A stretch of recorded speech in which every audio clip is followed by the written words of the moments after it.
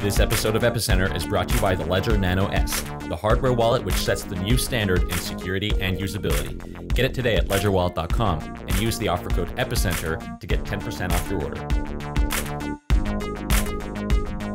Hi, welcome to Epicenter, the show which talks about the technologies, projects, and startups driving decentralization and the global blockchain revolution. My name is Sebastien Couture. And I'm Meher Roy. Today we have an amazing distinguished guest on our show, uh, Brendan Eich, who is the inventor of JavaScript, uh, founder of uh, the Mozilla project, uh, the Mozilla Foundation, Mozilla Corporation. He's now working on Brave, which is a browser that is seeking to remake the digital advertising industry. Brendan, it's an honor to have you on the show. It's my pleasure. Good to be here. So I thought to get started, maybe just just tell us a bit about your work history as an as an early internet internet pioneer. Like, tell us about your journey of, of in the past twenty years. Where to start? So I, I worked on the internet in the '80s for Silicon Graphics. I worked as a Unix kernel hacker on SGI's version of Unix called IRIX. I did file system and networking uh, kernel code. Um, and I, I knew all about the IP protocol stack then. I wrote a network uh, sniffer, sort of like a packet filter, and some pro- some code on top of that to analyze, capture and analyze packets, let you sort of express filters over uh, the header fields of those packets, so you can capture only some of the packets. Um, that was a lot of fun, and that was one of the many little language projects I did that paved the way uh, ever since I got into computer science as a physics major, erstwhile, as an undergrad. So I, I was doing, you know, computer science from the formal languages and automata theory side, and I loved that because it was very clean, right? You, you can generate parsers from grammars, things like that, uh, studying regular languages. So I had experience that when I got to Netscape, I'll skip the company between Silicon Graphics and Netscape. When I got to Netscape in the second year, the, the temptation for my friends who were there and had been at Silicon Graphics before that was come and do Scheme in the browser. And they loved the Scheme programming language, the uh, Guy Steele and Jerry Sussman's uh, sort of version of Lisp with uh, lexical scope, um, very very clean Lisp variant. And it was uh, just a pipe dream to put it in Netscape because by the time I hired, there was a deal brewing with Sun Microsystems to put Java in Netscape and you know take on Windows. Like Marc Andreessen would say, Netscape plus Java kills Windows. So I had suddenly, uh, first of all, the concern that maybe we don't need another language, maybe Java's enough. But Marc believed in the idea of a scripting language, a simple language right in the HTML. And so he and I collaborated on some of the ideas and constraints on that language. One of them was it had to look like Java. Another was I had to do a prototype in 10 days to prove to everybody else that it was worth having this this novel idea because Java was not easy to use. In particular, it was a typed language, and you had to run a compiler and package up the you know the, the bytecode. And and so uh, I, I did the demo, and it it got out of the lab and it spread all over the web. that was uh, 1995 May, um, 22 years ago.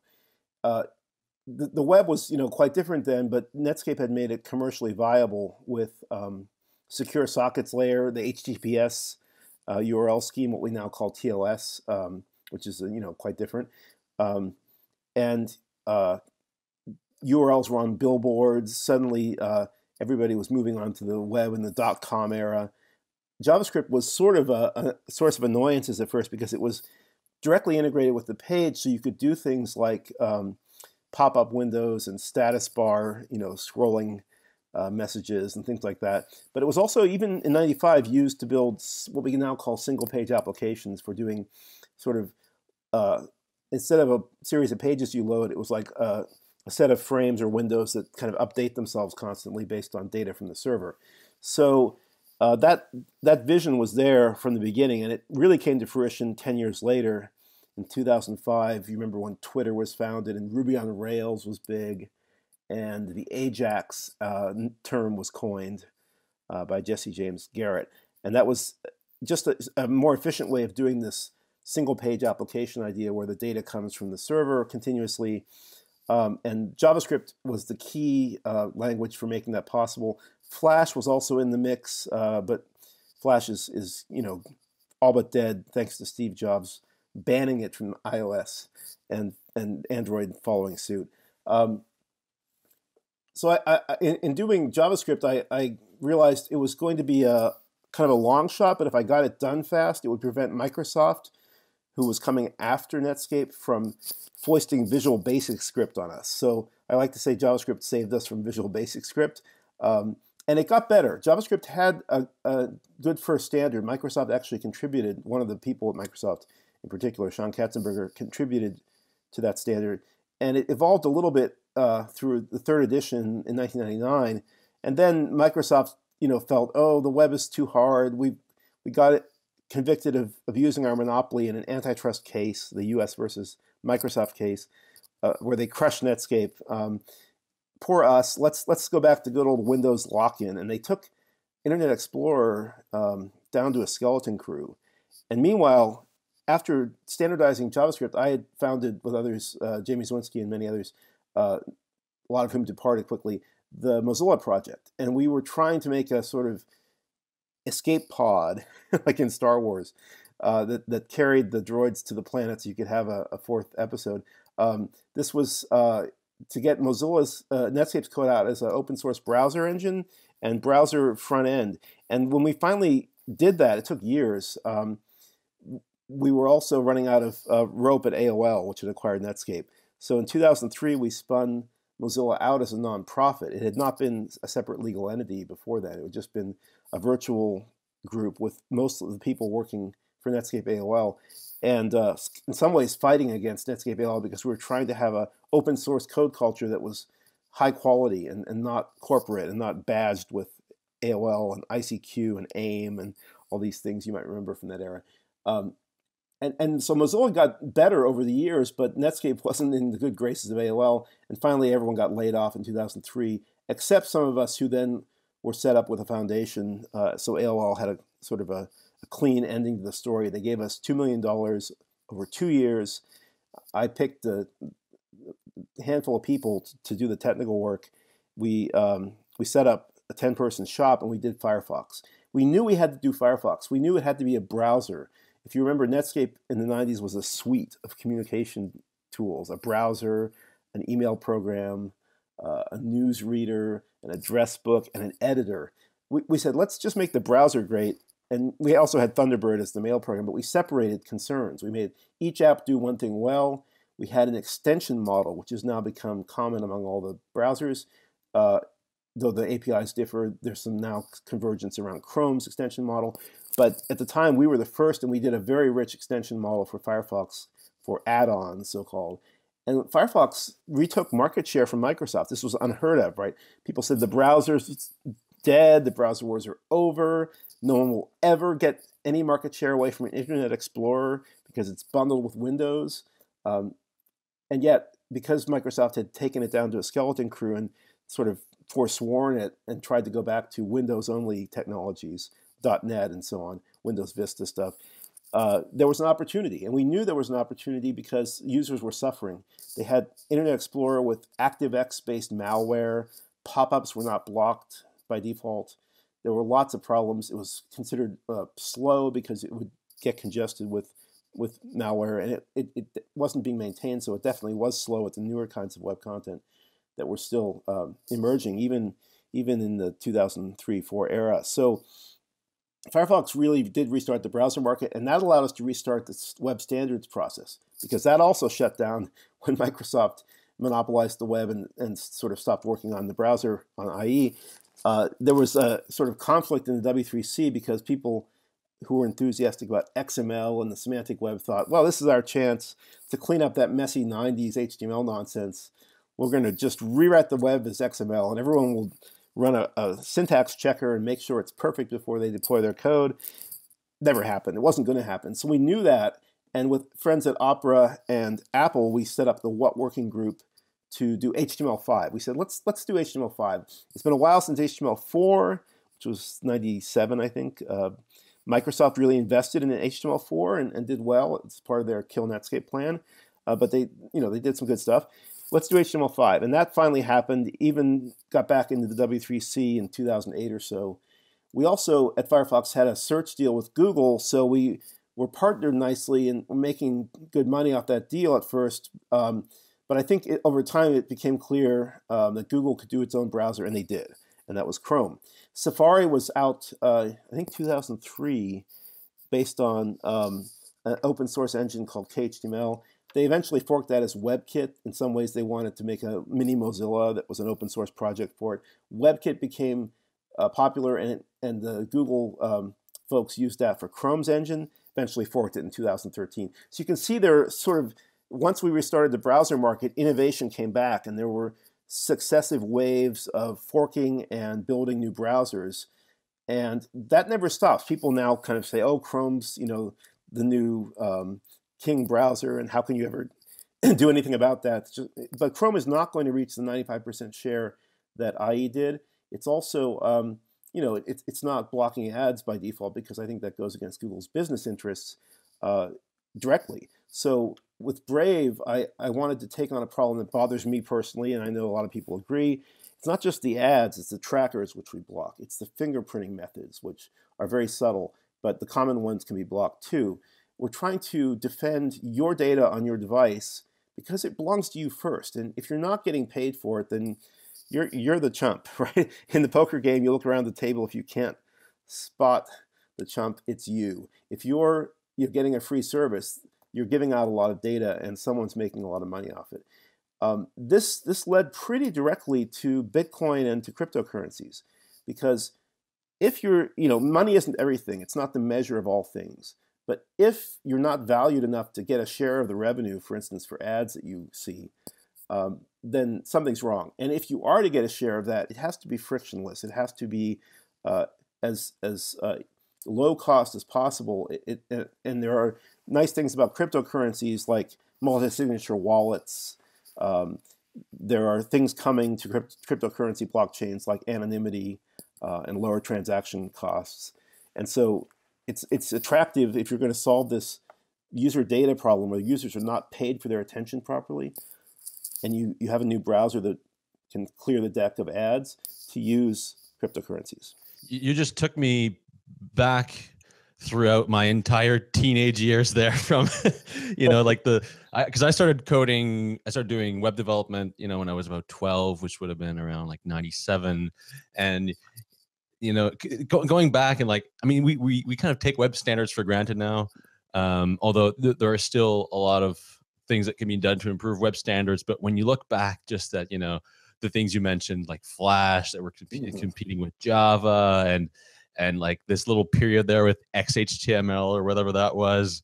Um, yes. Yeah, it's it's it's incredible the you know this this progression that has taken us here where um, you know even I remember what like seven or eight years ago you know back in the IE6 days um, you know web standard we were, we were just praying for web standards and and now you know now they're pretty much here with regards to how browsers browsers interpret um, HTML and CSS. Of course, like the mm-hmm. stacks have gotten more complex now, you know, with um, with with Sass and this these sort of layers on top, these precompilers. But uh, yes. it, it, feels now like web standards are are are pretty pretty pretty solid right across the board. At least from from where I'm standing now. I'm not doing as much development as I was uh, prior, but it does feel like we've gotten to a point now where you know browser manufacturers, at least on that side, are agreeing on you know what standards should be, what standards they should adhere to, etc.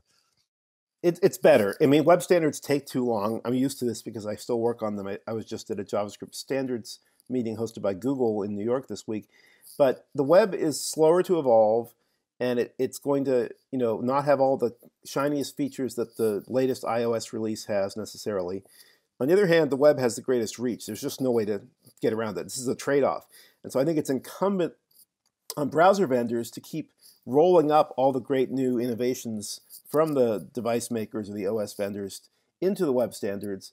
And you know there have been pauses there for sure due to monopolies and uh, sort of conflicts of interest, business interest between the browser and the other business that pays the browser vendors, you know, bills. So my my goal still with, with web standards is to just keep keep people working together in a harmonious way so that we roll up these, these innovations. The web will never be, you know, like the, better than iOS or better than the latest Android in, in one particular dimension or other, but it'll have the widest reach. And if you can roll up all the common innovations, it'll be good enough.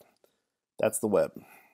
You, what you're saying there is so telling because when you say that the web has more reach and it takes longer to, to get to standards, if you look at the last, what, when the iPhone came out in 2007, there was, I remember at that time, there it was believed that any any user interface would be an app basically you know that you would build an app uh, rather than a mobile website and that i mean it hasn't totally shifted but you know we're seeing the web now on mobile become uh, you know, sort of regain its place as one of the dominant ways uh, by which people access information. That's greatly due to web standards, I, I think. Yeah, it's funny. When the iPhone first launched, Jobs finally held up the iPhone 1 and said, the web finally works on a phone. And they didn't have the App Store model. Uh, they did that like eight or nine months later, and I think they did it because of games. Games wanted to have a native SDK. They wanted to use C++ and you know run it down to the metal. And so uh, they made the, the App Store uh, possible and they made the app model possible. And then the next year, I think it was 2008, there's an app for that, right? Um, and certainly you could do well by jumping in on that, you know, new frontier. I remember Evernote, which had been a PC app, suddenly became uh, an, iOS app, and that was really good for them. Um, they, they, lowercase the n in their name. Um, but but you're right. The pendulum sort of swings. If the web is competent enough, people don't want to install yet another app all the kids these days are uninstalling apps. Um, there's sort of an equilibrium depending on screen size and the competence of the web standards between getting another app and just using the mobile website. And if that equilibrium, you know, is is stable, I think the web endures. So yeah, we're seeing a yeah. lot of native apps now being developed with web standards, right? I mean, uh, yes. if you look at uh, what is it called, uh, um, not Electrum, but um, this this platform with which you can build React Native is, is an example. Um, you use JavaScript for the business logic of the app, but you, you compile to native uh, widgets. There, there's still a sort of interplay, coevolution between native and web, as there should be, because that, that's what drives, I think, standards innovation. The standards bodies, if they go off and try to innovate on their own, it's usually a disaster, right? It's like that XHTML that never happened. Uh, um, I think Electron yeah. was what I was uh, referring to, and Ion, Ionic and all these yes. platforms.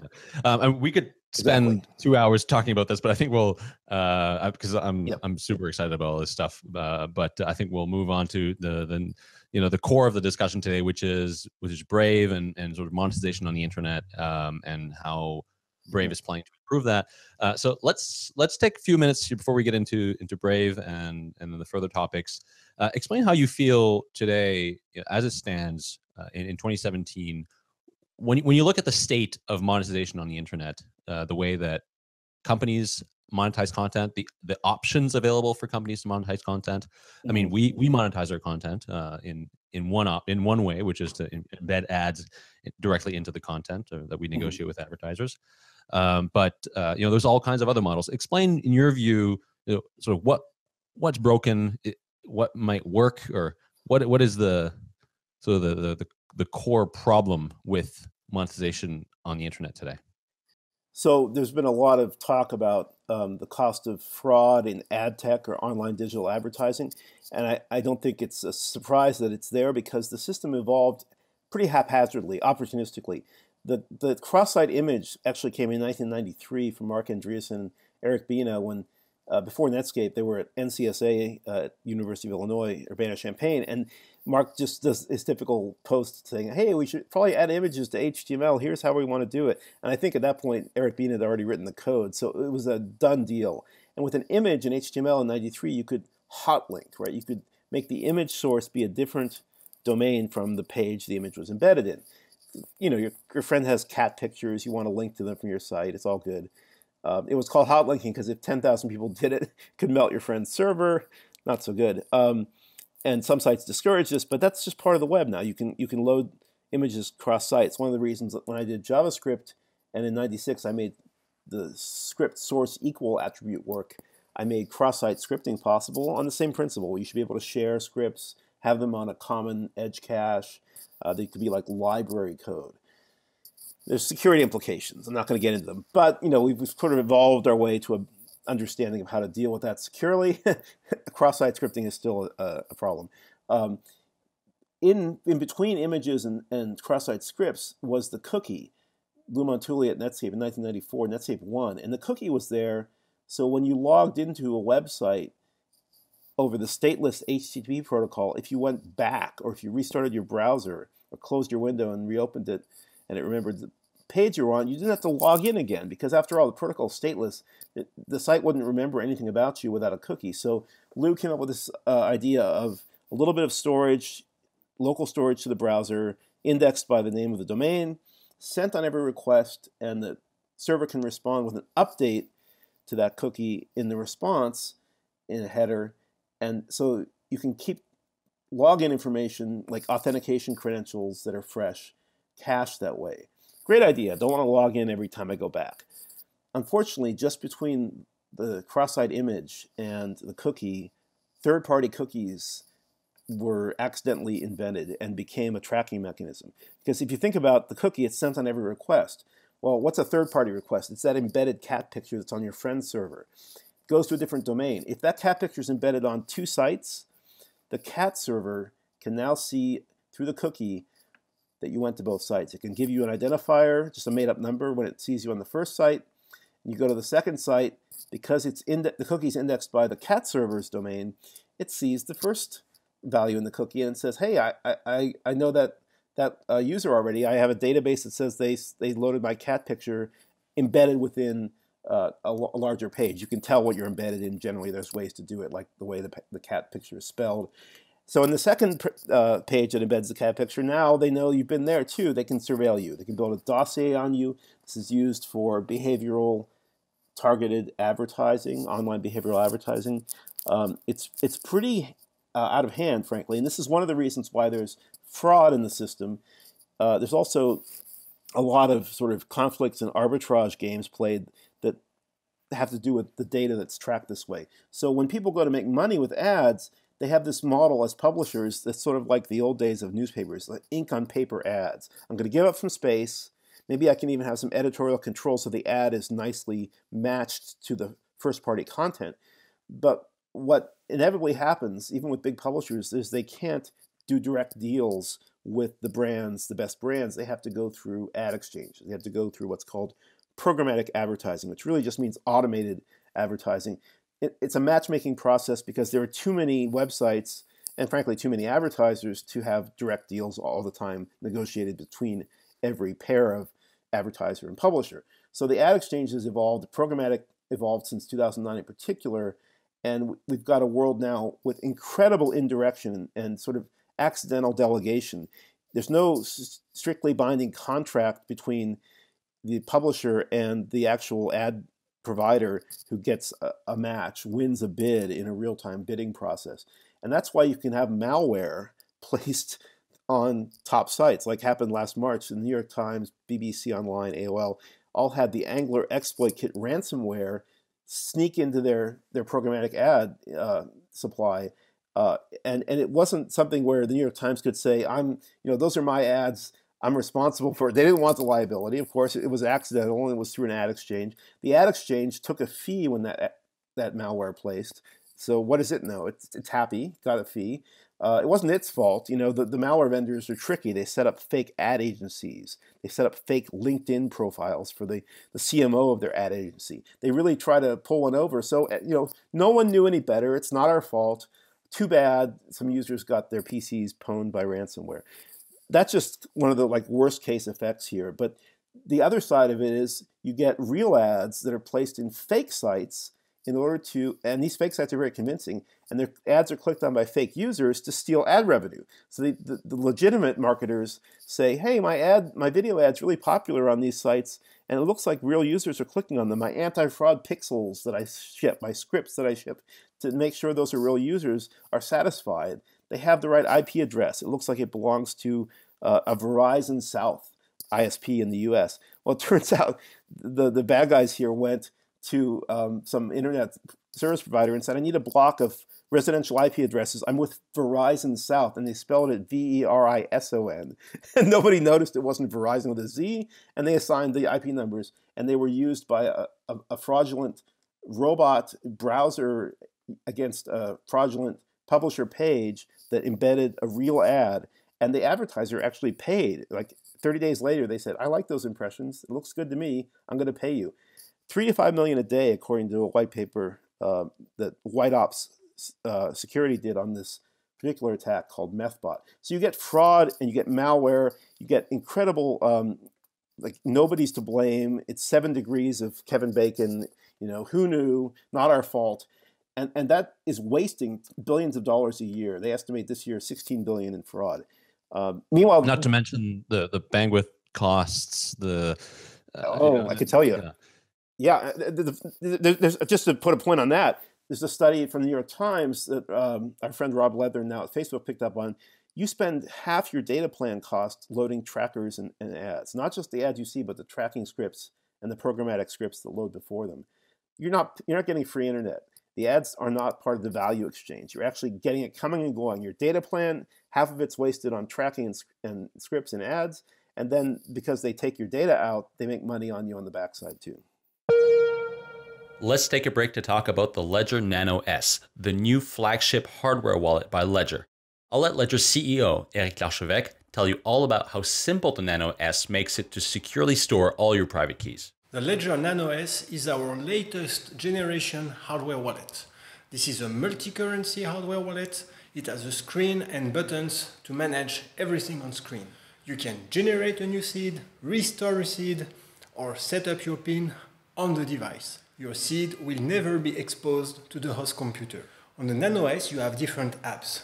You have the Bitcoin app, you have the Ethereum app, and you have the FIDO U2F app for strong authentication, for instance, with uh, Google, Dropbox, or GitHub. You can manage your cryptocurrencies with the Ledger Wallet Bitcoin Chrome app or the Ledger Wallet Ethereum Chrome app. With the Nano S, all your Bitcoin and Ethereum addresses are derived from one unique seed. With one seed, you can have in the same time Bitcoin, Ethereum, Ethereum Classic balances, and also, if you restore your seed, you will also recover all the keys associated to other apps such as FIDO U2F, SSH, GPG. So it's very simple, just one seed and multiple applications. The Nano S sets the new standard in hardware wallet security and usability. You can get yours today at ledgerwallet.com. And when you do, be sure to use the offer code EPICENTER to get 10% off your first order. We'd like to thank Ledger for their support of Epicenter. So what what do you think could have been? I mean, because you've been around the internet for a while. Uh, needless to say, what do you think could have been done differently, maybe in the beginning, apart from like not inventing cookies and cross-site scripting?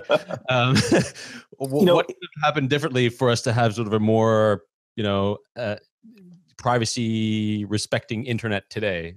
You, can you point at like specific things that say, oh, this was kind of a thing, like bad idea? I could, you know, the 2020 hindsight, and there are people I know who have a very um, strong security philosophy. Like I'm friends with people who are object capability security uh, pioneers, and their system is attractive. And if people use it with discipline and care and with some tools to verify it, it can be very, very powerful. I like it. I'm technically on board with object capability security. And JavaScript has some of that in its bones, has a few loopholes that are notoriously not object capability security. But the plain fact is, I don't want to play Monday morning quarterback. The web would not have evolved without this rush to commercialize it, without these unintended consequences. Like nobody thought, hey, images plus first party cookies equals third party cookies equals tracking. Nobody figured that out in time. It was unintended consequence, it was accidental evolution, very much like sort of biological life. And if you had a do over and you tried to control the change and make it slow and careful, it wouldn't have taken off. Like Dorothy Denning, a famous security uh, researcher, I've forgiven her for her Clipper chip support, uh, invented information flow security in the 70s. She gave a speech in 99 or 2000 where she said, you know, security will never be done. For one thing, it's an economic scarcity problem. Bad guys attack where you aren't defending. You go there to defend, and they attack the other place you left behind that you didn't have the money to defend. But she said also, people rush to commercialize things and they never will design you know some platonic ideal of security by construction. They will they will dive in and commercialize, and that's what happened with Netscape and the web. So to me, the, the job again is sort of this diligent standards process of iteratively improving the standards based on what we learn, and that stopped for advertising in particular. That stopped. The cookie and, and image and script were the low level building blocks. No one ever made an ad element in HTML, like a tag for advertising. No one made a, a first-class tracker tag. You know, you, there's lots of ways to track you, so maybe this wouldn't have been bulletproof, but it would have formalized it in a way that would have allowed more explicit user control of these things. And, and you know, ads are recognizable. We block them, others others block them, but it's kind of a heuristic process based on domain names and sort of uh, syntax patterns. Yeah, so you, you've really sketched out what what the problem with today's uh, exchange like today's ad market is and it seems that it's a it's it's a problem that affects everyone from the person who's reading malware the person who's publishing not being able to get accurate value for their money. And uh, it seems that all of the parties have have this problem. So like just sketch out a vision for how you think the future could be different and how like brave would want the future to be Sure. So one of the consequences of this accidental evolved system is too many middle middlemen. This is what you see in the the way ads are delegated through exchanges. You get an alphabet soup of acronyms: the demand side platform, the DSP, the supply side platform, the SSP, the data management platform, the DMP. There's a lot of P's. Um, you get private marketplaces, PMPs. You get you know um, optimization specialists who claim to add a little bit of yield, a little bit more revenue per per uh, unit of area that the publisher gives up.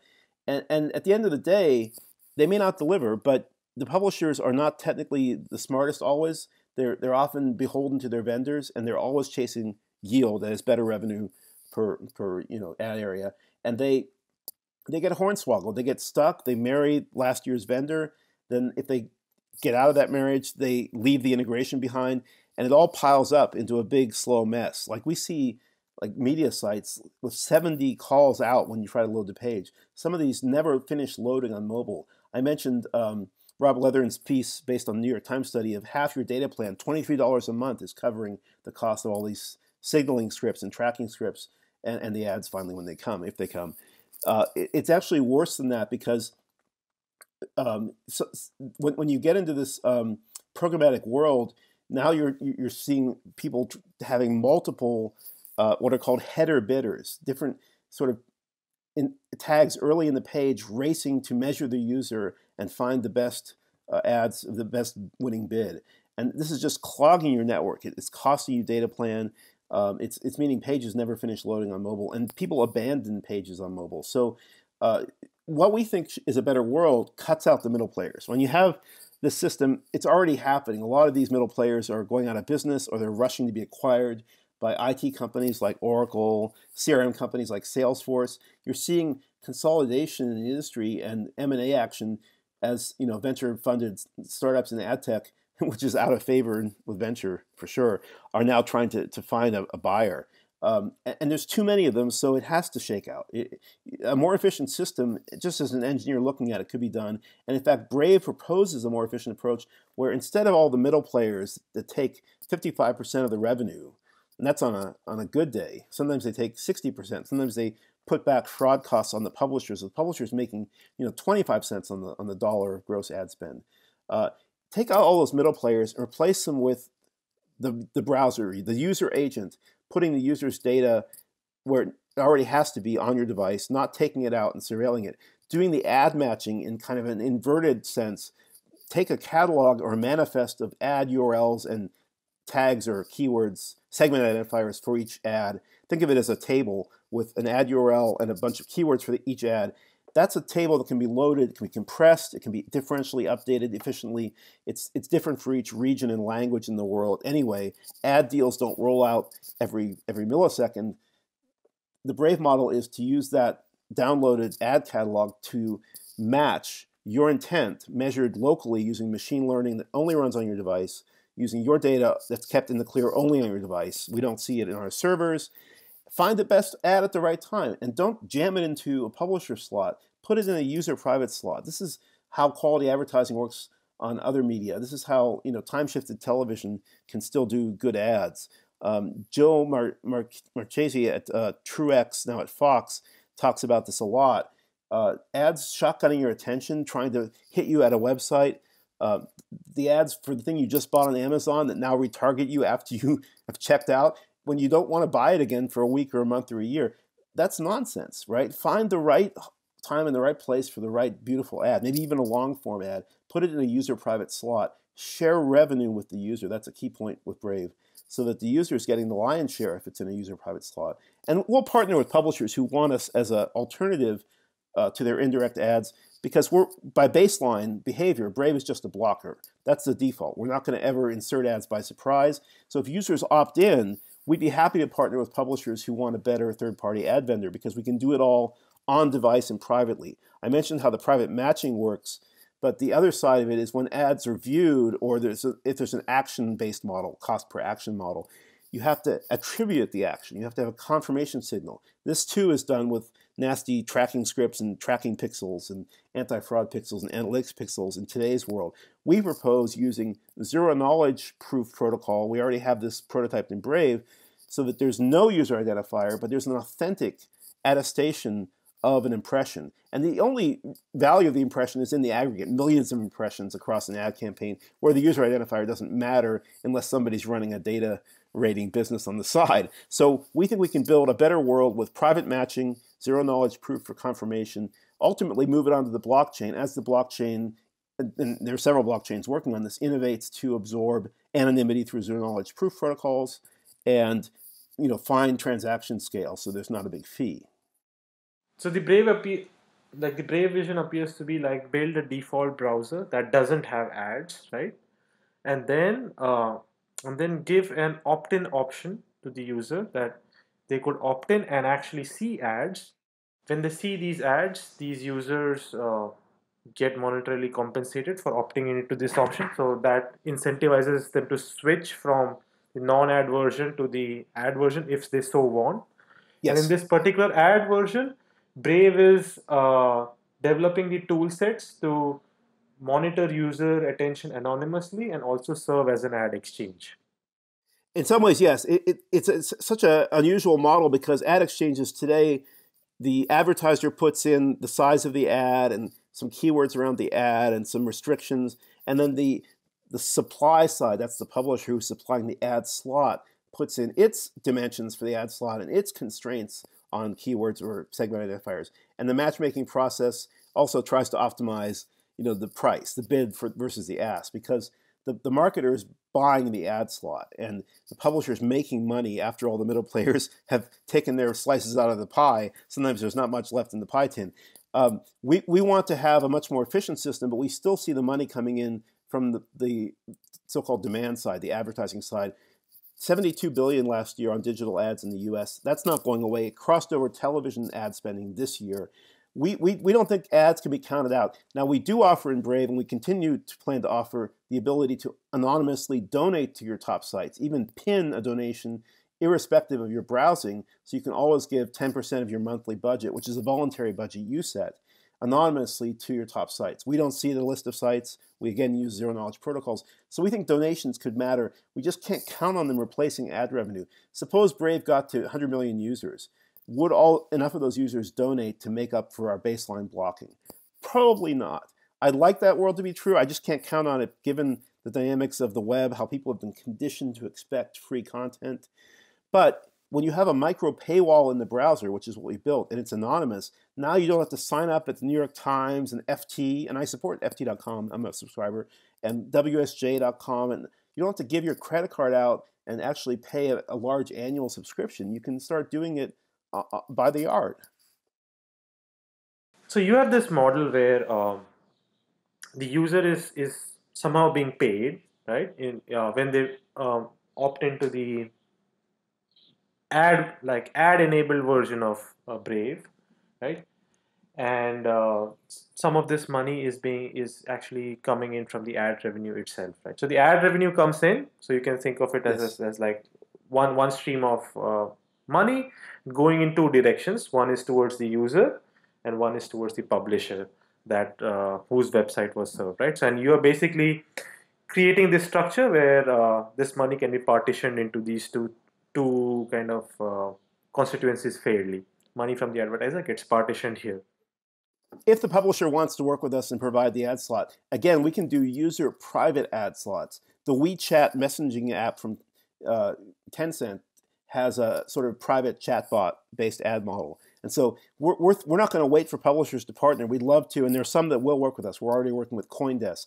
Uh, that's well known. We have a bunch of publishers already taking donations from us. They fully verified at publishers.brave.com with our donation system that's in beta.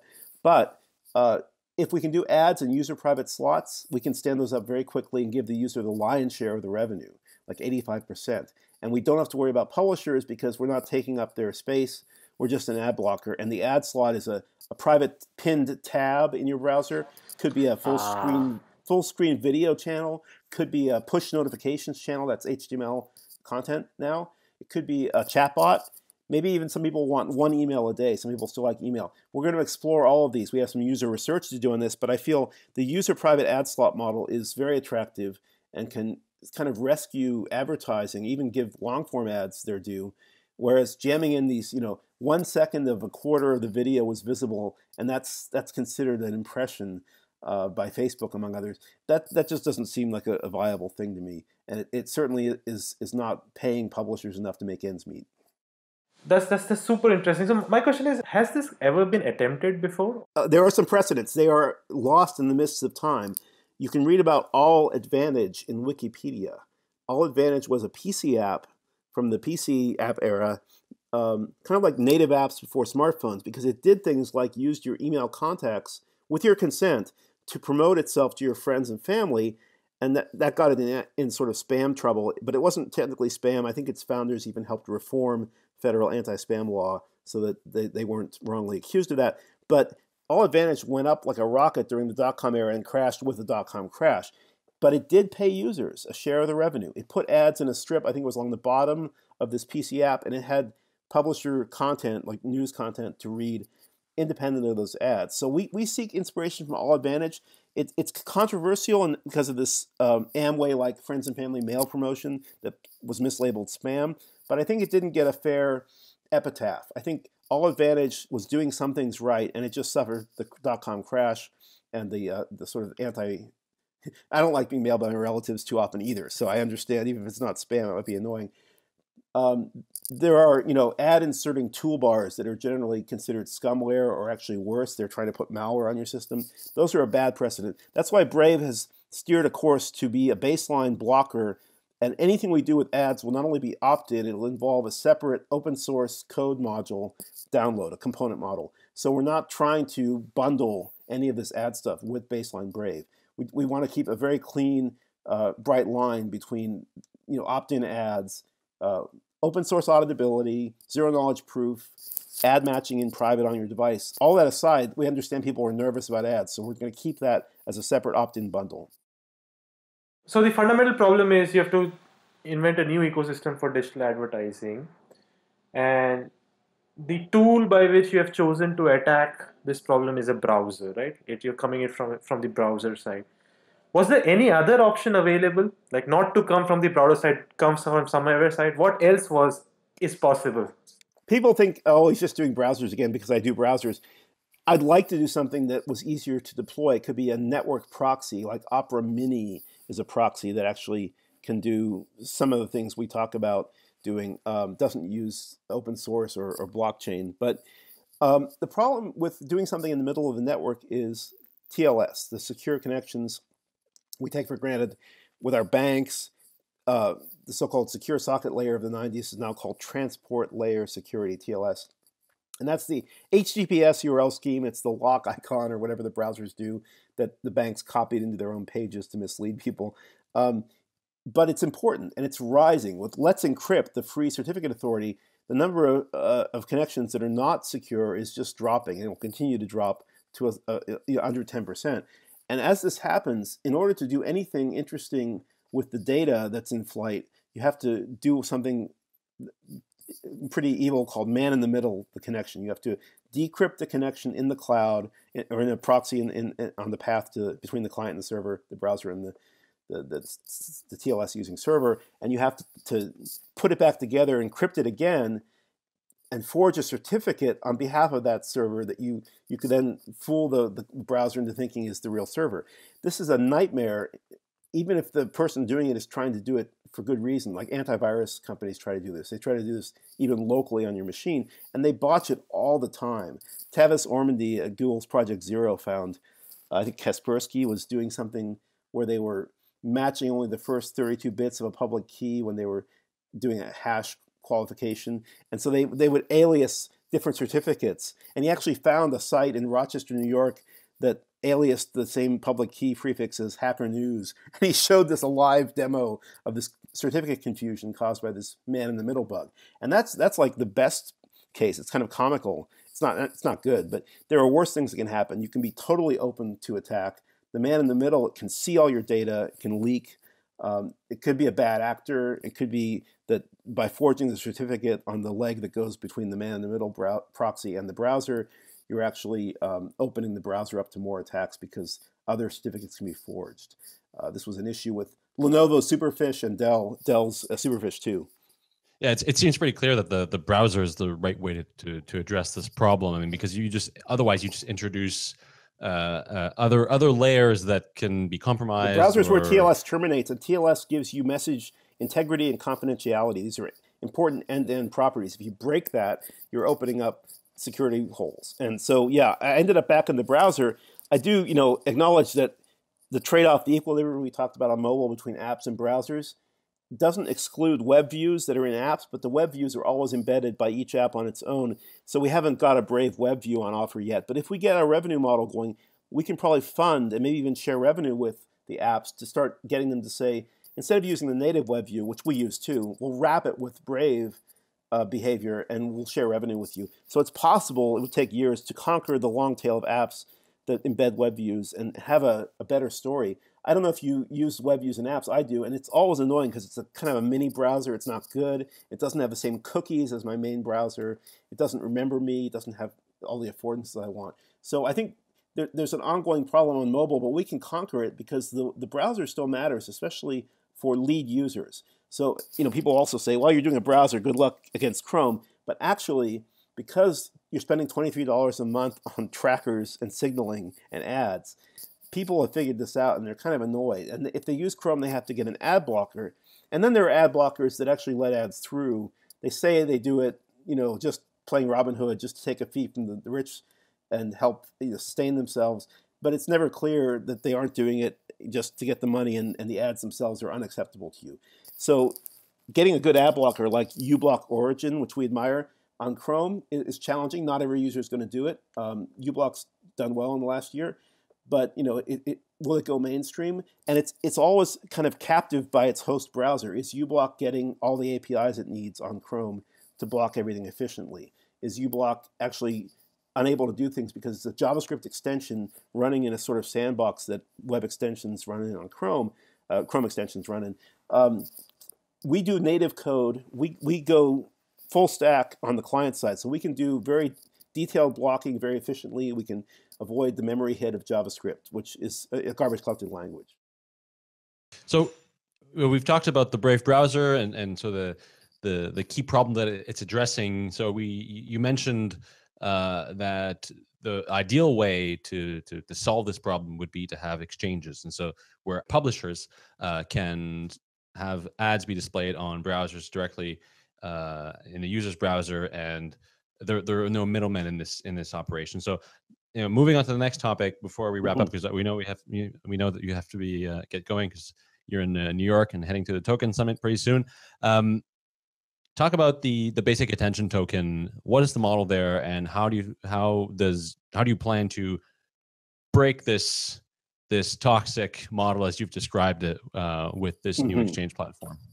We're doing a token launch on Ethereum, uh, and we're trying to reboot the sort of ad exchange onto the blockchain. It'll take multiple iterations where we use some combination of, of our own zero knowledge proofs and uh, sort of accounting servers. Eventually, you put it on the chain when the zero knowledge tech is ready and the transaction cost is low. Um, so I, I, like to use the space program metaphor. We're, we're going to do the, the Mercury Redstone that goes suborbital. We're going to do the Mercury Atlas that orbits the Earth. We're going to do Gemini where you learn to dock spacecrafts. Then we'll go to the moon. If you try to build the Saturn V rocket in 1959, it's going to blow up. You're not going to make it to the moon or even to low Earth orbit.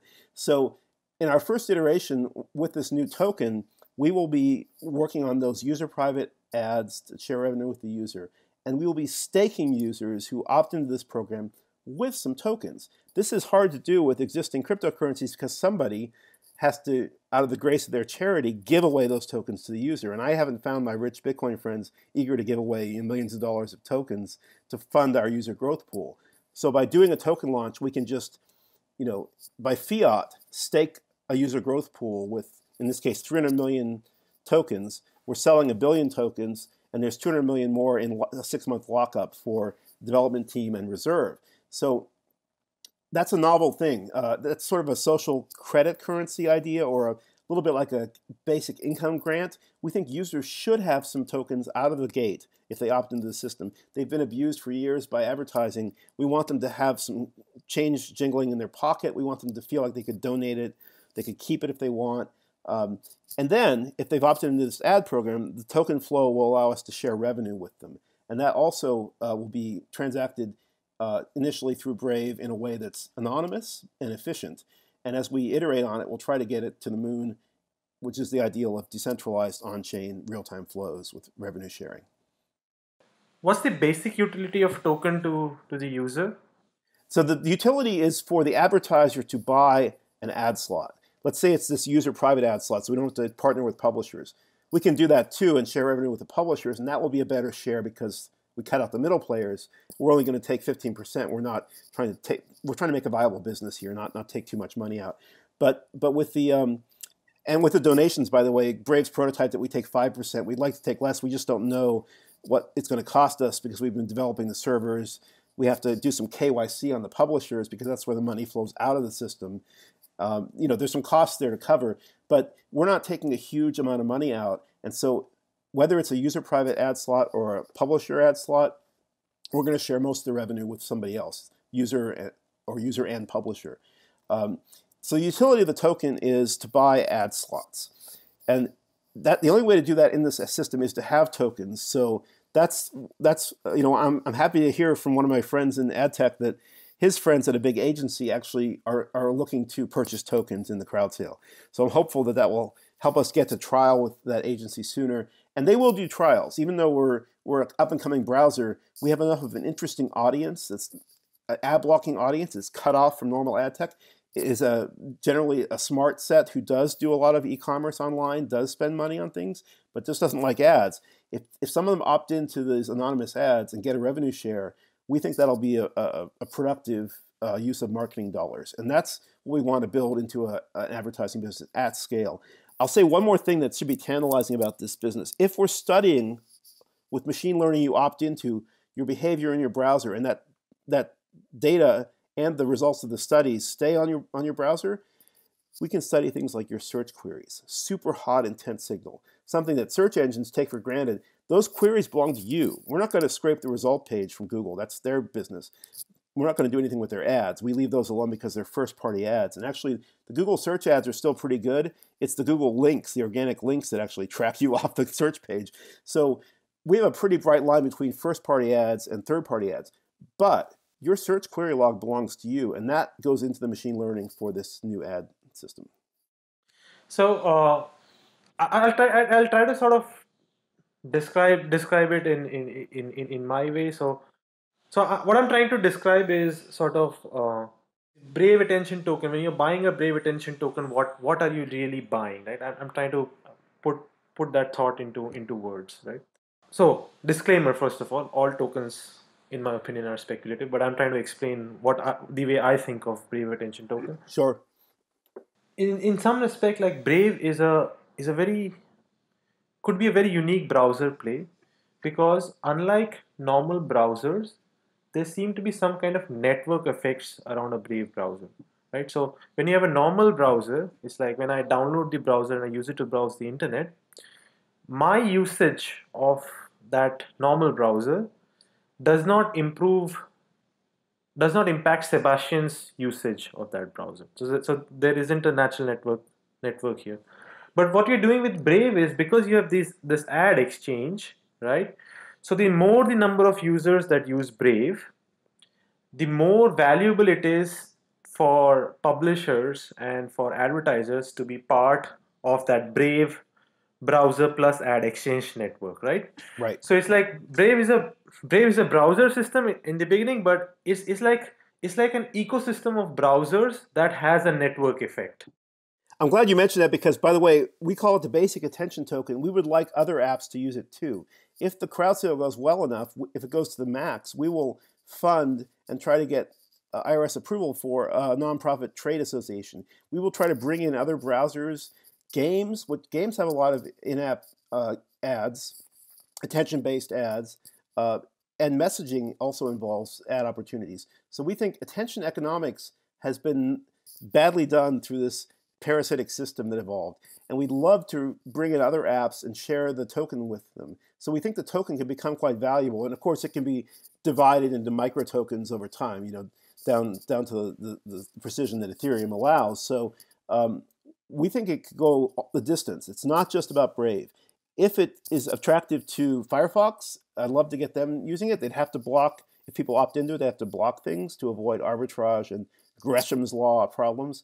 Uh, if Microsoft Edge, which is also not really get growing in the market, even though they're forcing it on people in Windows 10, uh, if that is uh, of interest to Microsoft, I'd love to have them join this trade association. And and games, uh, we're already talking to some of the, the big game advertisers. I won't mention whom. So there, there's just a lot to do here. If the crowd sale goes well, it's it's going to be bigger than Brave. We'll get scale with the advertisers faster that way.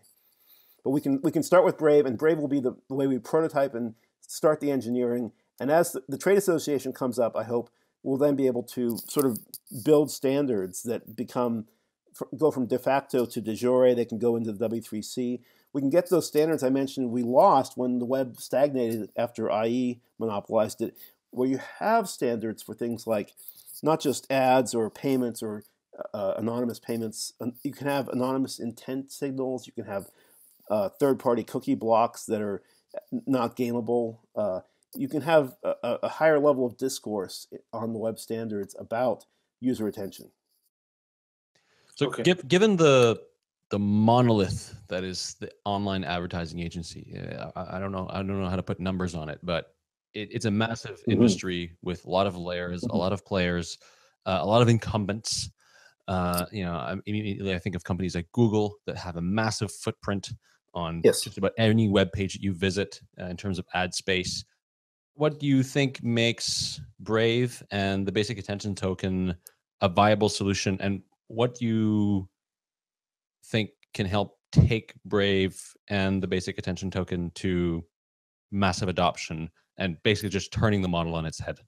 Great question. So one of the things we're trying to do, we've only prototyped the donation to publishers who can uh, use a challenge response protocol to prove they own their domain. But we designed the system to go into the path part of the URL so we can actually help Twitch.tv and YouTube account holders get donations or get Brave anonymous ad revenue shares. And that's that's a powerful idea because you may have seen a lot of YouTube YouTubers are unhappy that they're not getting the ad revenue they used to. Some of them are being censored or cut out completely. You, you may have noticed the advertisers, I think this was a pure negotiating tactic, made a, a, a, big stink about their ads being placed next to objectionable videos on YouTube. Um, definitely part of a negotiating tactic. Could be a brand problem too, but you know it wasn't just brand safety. They were also trying to get some leverage with Google. So we can go to those brands and give them an interesting audience, growing from hundreds of thousands of users to millions of users. Especially if we band together in this trade association and I guarantee you, these brands that advertise will be interested. They're always looking for a new way to reach interesting audience. It isn't just about they only do Facebook or they only do Google and that's it. They they try multiple ways. They're always flexible. I think they're the most um, flexible part of the system. The publishers, unfortunately, in my experience, are slower to change, are less technically savvy, and are, are going to be late to the party. But we will we will get the buy side, the demand side, so called, the advertisers, the brands, uh, going, and we will try to do it with things where the the other side, the supply side, like the publishers who are really YouTube account holders, just individuals living in the, the domain of YouTube, but doing their own thing, can be reached, and try to make a match there. So there's a there's a crowd sale starting, I think, in a couple days after this airs. Uh, Five thirty one, May thirty first. May thirty first. Okay, so uh, anybody um, interested in that? I mean, of course, uh, we're not giving investment advice. You should always do your own due diligence before uh, investing in any ICO or crowd sale. Um, so, uh, Brendan, I think I think you have to go. Uh, we don't want to we Yeah. don't want to uh, overimpose here. So, uh, Appreciate it. again, thank you very much for coming on. It's been a pleasure. Uh, we could probably go on for another couple hours. I mean, I wish I could have picked your brain on all the We web could. stuff at the beginning, uh, but hopefully we can have you on again at some point and, uh, and maybe with a bit more time. So thank you so much and uh, have a good time at, uh, at Token Summit. Thanks. Thanks. Appreciate it. Thank you both. And to our listeners, thank you for once again for tuning in. We are part of the Let's Talk Bitcoin network. You can find this show and lots of other great shows at letstalkbitcoin.com. If you want to support the show, there's multiple ways you can do that. Uh, I mean, of course, you can watch our ads uh, and maybe buy the products of our advertisers, but you know uh, that's totally up to you. Uh, you can also leave us a tip. Uh, that's a more direct way of, of supporting the show. The tipping address will be in the show description, and also you you, you leave us an iTunes review uh, or leave a review wherever you get the podcast. So thanks so much, and we look forward to being back next week.